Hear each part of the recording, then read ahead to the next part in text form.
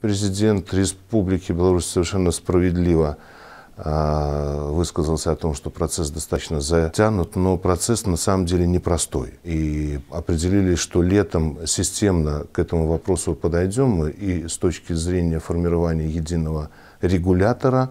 И второй, один из важных вопросов, это вовлечение в принципе IT-сферы, резидентов парка высоких технологий в иные сферы экономики – нашей страны с тем, чтобы обеспечить соответствующий рост производительности и развития. Непростая тема регулятора. Не хотелось бы правительству э, просто поменять название, но не поменять смысл и сущность, поскольку мало и недостаточно создать просто нового единого регулятора. Очень важно создать в каждом министерстве, в каждой отрасли, ну, как бы вертикаль компетенции, то есть людей, которые понимали бы, что нужно делать в цифровизации соответствующих отраслей, что нужно и каким образом использовать э, цифровизацию для повышения производительности.